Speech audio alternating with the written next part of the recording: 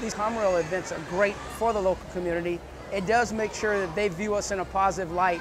If you go through and talk to the average citizen that is here, the Filipino citizen, they will tell you how much they appreciate the United States and how much they appreciate us as Third MEB coming out here doing these type things.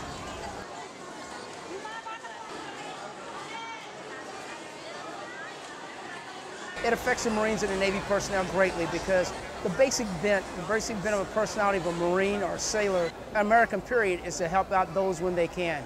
And all these Marines and sailors here come here because they want to help.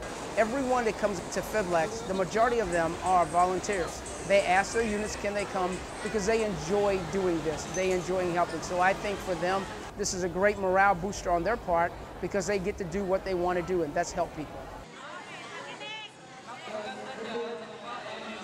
I think it affects the community as a whole because it makes for a more accepting or an acceptance of us when we come here to train and to do exercises.